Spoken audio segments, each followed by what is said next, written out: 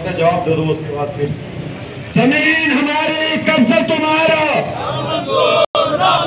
वतन हमारा कब से तुम्हारा। देव हमारे कब्जा तुम्हारा।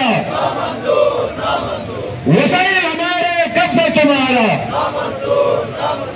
जैसा कि आप जानते हैं मेरे भाइयों और कमेटी का मकसद ये है कि गिलगित बल्दिस्तान रियासत जम्मू कश्मीर के हकूक का तहफ़ के लिए, उनके आवाम के हकूक के तहफ़ के लिए मैदान अमल में जद्दोजहद कर रही है। आप जानते हैं कि इन सहूलतकारों ने अठहत्तर सालों से आपको बिजली नहीं दे सके हैं, साफ़ पानी नहीं दे सके हैं, कोई मियारी रोड नहीं बना सके हैं। तो ये सहूलतकार असम्बली, वो आपको आइन देने के पीछे वो टरखा रही है कि ये आपको आइन दे देंगे। छिहत्तर सालों से ये सहूलतकार जो भर्ती होते हैं, इनको भर्ती किया जाता है असम्बली में सहूलतकारी के लिए, आपके हुकूक को दबाने के लिए, आपको सबस बाग दिखाने के लिए इनको भर्ती की जाती, भर्तियाँ की जाती है इनको। उनसे आप आयन की तो करते हैं।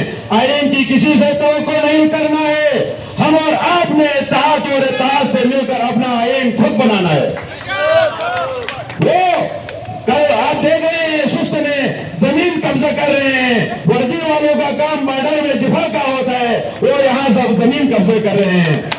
और वो जो कोऑर्डिनेटर स्वागतकारी के लिए दलाली के लिए जो भर्ती किया गया है, वो ये जवाब पेश करते हैं कि हम सबसे बड़ा झंडा लगा रहे वहाँ शर्म करो तुम्हारे आईनी सूबों से तुम्हारे झंडे उखाड़े जा रहे हैं।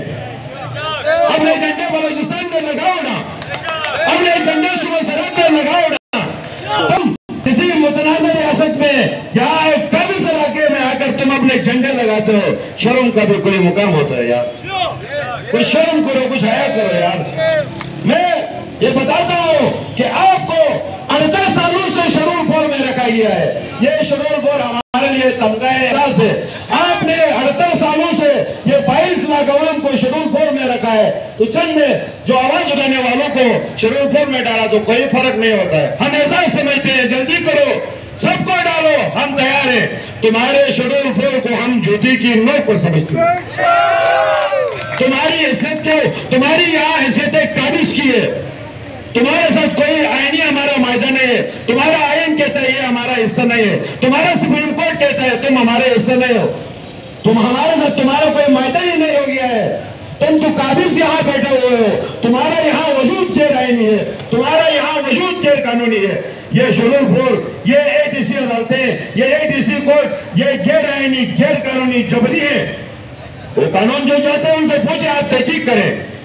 देखो स्टेबलिशमेंट दुनिया के तमाम मुल्कों में है, मगर जहाँ जहाँ फौजी स्टेबलिशमेंट है, वो मुल्क तब वो ममालिक तबाह और बर्बादी का शिकार हो चुके हैं। आप तहकीक करें। आप रिसर्च करें, देखें आप, हम ये नहीं कहेंगे। दूसरी बात, हमें अड़तीस सालों से माशी तौर पर ये बनाया गया देखो हमारा यहाँ रियासत जम्मू कश्मीर के दरमियान में खोली लकीर खींचकर हमें करगिल जाने नहीं दिया जा रहा है। हमें ताजिकिस्तान जाने नहीं दिया जा रहा है। हमें वाकान जाने नहीं दिया जा रहा है। खुद तो वाजे बाज़ार में तजारत करते हैं। खुद खोखरा पार में तजारत करते हैं। वह कारोबार यहीं से अफ़गानिस्तान बॉर्डर के साथ वो जहाँ लाकन लंचर चलते हैं, वो तजारत करते हैं। यहाँ आज तक कोई पटाखा भी नहीं चला है। और हम दहशत गर्द इन पर शेड्यूल बोर्ड लगाते हो, उन पर क्यों नगार नहीं लगाते हो? जो तुम्हारे ऊपर लाकन लांचर फेंकते हैं और तुम्हारे सरों से फुटबॉल खेलते हैं। लगाओ ना उनके ऊपर शेड्यूल बोर्ड उनके साथ मुकाबला करो ना। हम, हमें तंग किया जा रहा है। इस इलाके पर आपका जबरी कब्जा है। हम आवाज़ उठाते हैं तो आप कभी कहते हो, गद्दार हो कभी फतवे लगाते हो कि ये तोहीन मज़ाक करते हैं, कभी फतवे लगाते हो, ये तोहीन सहाबा करते हैं, कभी फतवे लगाते हो, ये तोहीन अलवेद करते हैं। कभी क्या कभी क्या, आपकी तमाम आजमाइशें तमाम तरीके अभी नाकाम हो चुके हैं। अभी आवाम समझ चुकी है, ये तमाम बातें, ये तमाम शेड्यूल आवाम को दबाने के लिए है।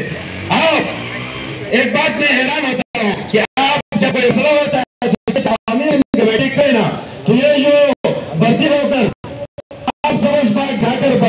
भर्ती यहाँ ये मर्ज है ये महाराज के लिए सिर्फ़ महाराज लेने के लिए उनको वहाँ भेजा है। वो आपको फिर बताया कि अड़तीस सालों से वो बिजली नहीं दे सके हैं। वो अपने मनपसंदों को, अपने इलाके के लोगों को, अपने मुफादातियों को ठेके देते हैं। क्या ये जायज़ है? इस तरह चलता है ये कानून। हमें, हम कहते हैं कि ये पाकिस्तान के दुश्मन है। हम दुश्मन नहीं हम खुद अपने दुश्मन हो। अपने इलाकों में जाकर आवाम कोई मुतालबा करती है तो वहाँ जाकर आवाम को सुनना होता है। आवाम के मुतालबे हल करना होता है। तुम उन पर गोलियाँ बरसाते हो। तो वो तुमसे मोहब्बत करेंगे। वो तुमसे मोहब्बत करेंगे। इस तरह कोई किसी से मोहब्बत नहीं करता है। आपको ये बताना चाहते हैं, आपने अकवाम मुतहदा में लिख के दिया है कि हम बैतालीस दिनों में रियासत जम्मू कश्मीर, गिलगित बल्तिस्तान पाकिस्तानी मकबूजा कश्मीर हिंदुस्तानी मकबूजा कश्मीर खाली करके जाएँगे। अभी अड़तीस साल हो गए हम आपसे बोल रहे हैं कि आप खाली करके कब जा रहे हो हमें बताइए हमें टाइम दिया जाए जल्द से जल्द आप फारिग होकर चले जाओ हम अपनी रियासत को संभालना जानते हैं वसलाम